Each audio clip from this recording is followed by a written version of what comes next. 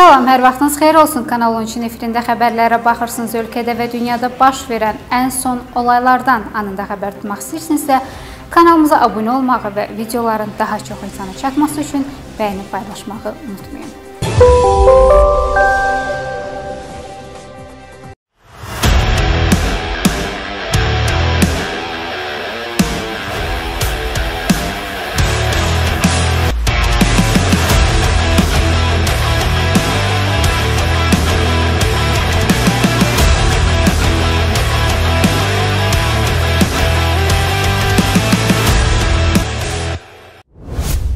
Dövlət Sərhəd Xidmətinin helikopterinin qəzaya uğraması nəticəsində şəhid olan 14 hərbiçimiz bu gün dəfn olunub.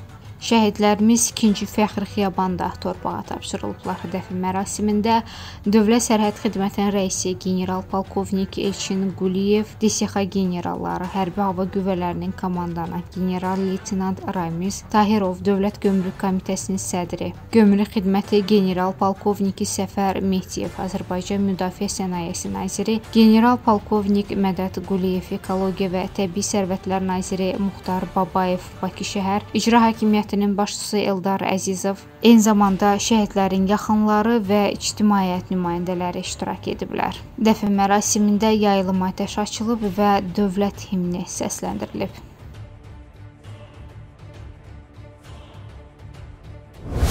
Dünən baş vermiş dəhşətli helikopter qəzasından xoşbəxtlikdən iki hərbiçimiz salamat qurtulublar.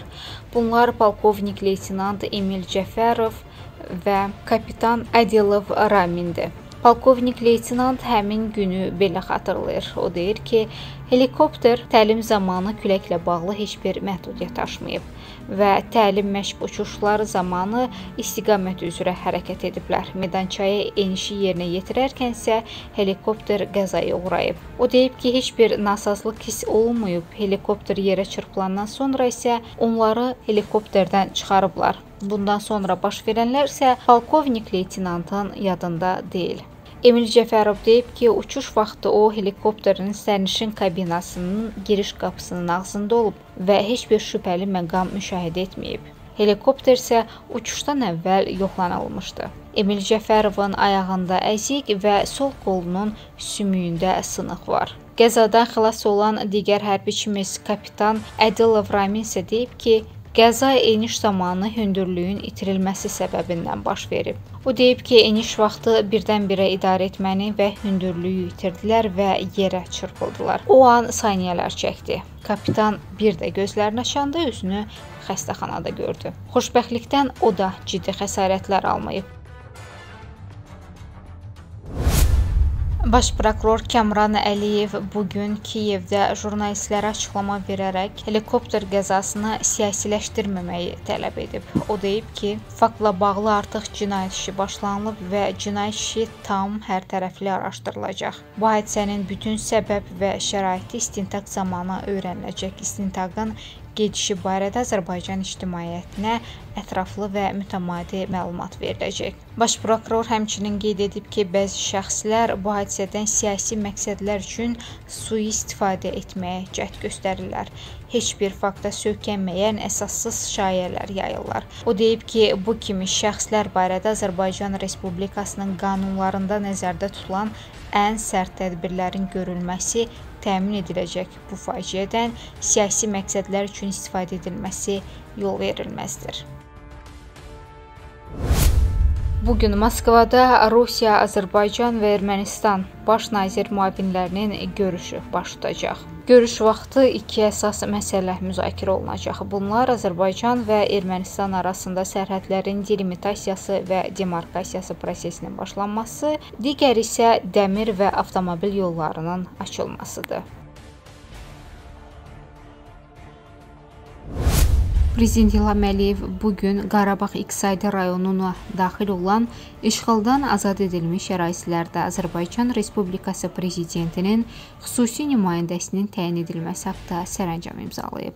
Sərəncamla Emin Zayminoğlu Hüseynov Qarabağ iqtisadi zonasına daxil olan işğaldan azad edilmiş ərazilərdə Azərbaycan Respublikası prezidentinin xüsusi nümayəndəsi təyin edilib.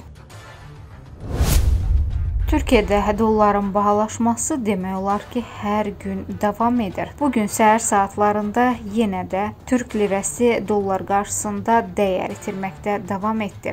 Nəticədə 1 ABŞ dolları 13.9 TL-yə yaxınlaşdı. Yaranmış vəziyyətdə Mərkəzi Bank bazara müdaxilə etməli oldu. Türkiyə Mərkəzi Bankından verilən məlumata görə valyuta məzənnələrində müşahidə edilən qeyri-sağlam situasiya səbəbilə bazara müdaxilə edilib və valyuta ehtiyatlarının bir qismi satışa çıxarılıb. Bundan sonra ABŞ valyutası 5%-dən çox ucuzlaşıb və dollar yenidən 13 TL-dən aşağı düşüb.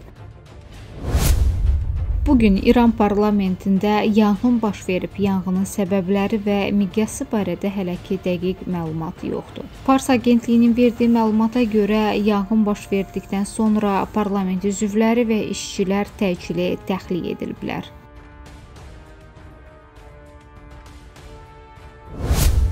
Və sonda sabah olan hava haqqında məlumatı diqqətinizə çatdırırıq. Milli Hidrometeorologiya Xidmətindən verilən məlumata görə sabah Bakıda və Abşeron yarımadasında hava şəraiti dəyişkən, buludlu olacaq, arabir tutulacaq, əsasən yağmursuz keçəcək. Arabir güclənən şimal-qərb küləyi gündüz cənub-şərq küləyi ilə əvəz olunacaq. Havanın temperaturu gecə 7-9, gündüz 10-12 dərəcə isti. Bakıda gecə 7-9, gündüz 10-12 dərəcə isti olacaq. Atmosfer təzyiqi 767 mm civə sütunu təşkil edəcək. Nisbi rütubət isə 60-70% olacaq. Azərbaycanın rayonlarında da hava arabir yağıntılı olacaq. Bəzi yerlərdə intensivləşəcək. Dağlıq ərazilərdə qar yağacaq. Gecə və səhər saatlarında duman olacaq. Arabir güclənən qərb küləyi gündüz şərq küləyi ilə əvəz olunacaq. Havanın temperaturu isə gecə 2-6, gündüz 8-13 dərəcə isti, dağlarda gecə 3-8 dərəcə şaxta, gündüz isə 2 dərəcə şaxtadan 3 dərəcəyə dək isti olacaq. Bax belə bu günlük və bu saatlıq bizdən bu qədər növbəti gündə görüşmək ümidi ilə hələlik